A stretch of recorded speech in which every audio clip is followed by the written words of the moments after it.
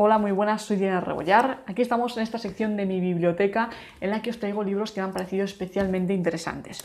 Hoy el segundo libro que os traigo es Coaching por Valores de Simón Dolan.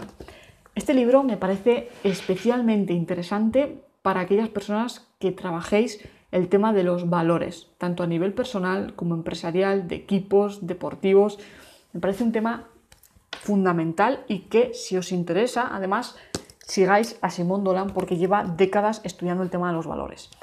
Él empezó eh, buscando esa relación entre personas que sufrían infartos eh, sin tener antecedentes familiares de infartos y personas que no estaban eh, alineadas con los valores y descubrió que existía una relación. Es decir, que las personas que no estaban alineadas con sus valores sufrían más infartos mm, que las personas que sí que estaban alineadas, ¿vale? Podemos pensar en la típica persona que es muy importante para él la familia, pero que no le dedica tiempo, o la persona que es muy importante la libertad y no le dedica tiempo. Y bueno, eh, valores hay muchos, hay tantos casi como como podamos imaginar, como cada uno sienta que, es un valor, ¿no?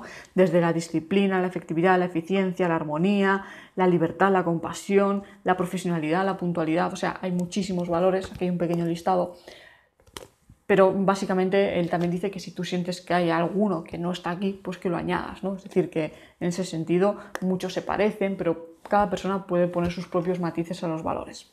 Entonces, bueno, ya en el tema del libro, eh, ¿qué tiene este libro? Este libro tiene un primer capítulo muy extenso, que son casi 100 páginas, cuando el libro en total tiene 250 que te habla de los diferentes tipos de coaching, desde coaching con PNL, ejecutivo, empresarial, de vida, de familia, coaching coactivo, coaching ontológico, es decir, hace un repaso, digamos, por las distintas disciplinas del coaching y también eh, diferencia el coaching de otras disciplinas, ¿vale? Entonces, eh, sí que es cierto que es un capítulo denso, es un capítulo de, bueno, de cogerlo un poco con, con ganas, ¿no? Porque te empieza a explicar, digamos, que es como como meterse muy en, los temas concretos.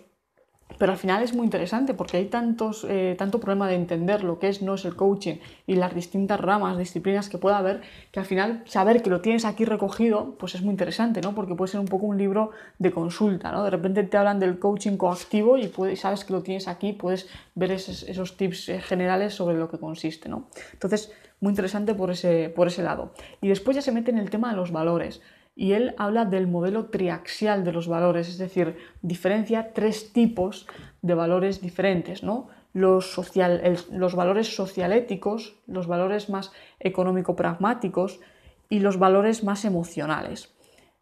Y bueno, y trata de buscar esa alineación, ¿no? Trata de que estén un poco los tres representados, mm, puede estar más hacia un lado, más hacia otro, y te da de forma muy práctica cómo puedes eh, desarrollar ejercicios prácticos para descubrir tus valores, tanto los tuyos propios como los de otra persona, como los de un equipo, como los de una organización.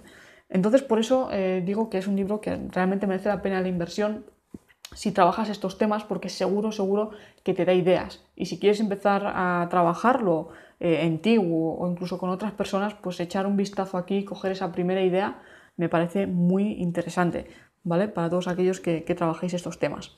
Ya en el último capítulo deja entrever que quizás exista en un futuro el modelo cuatriaxial de los valores, porque habla de, la otra rama que podría ser el tema de la espiritualidad, ¿no? y habla de la importancia que tiene en la empresa, porque también toca el tema de la cultura, los líderes, etc. ¿no? Tiene sus ejercicios prácticos y estamos hablando de una persona que lleva décadas estudiando el tema de los valores. Así que esto es todo por la recomendación de hoy. Si te ha gustado el libro, déjame like, suscríbete al canal para no perderte próximas recomendaciones y nos vemos en el siguiente.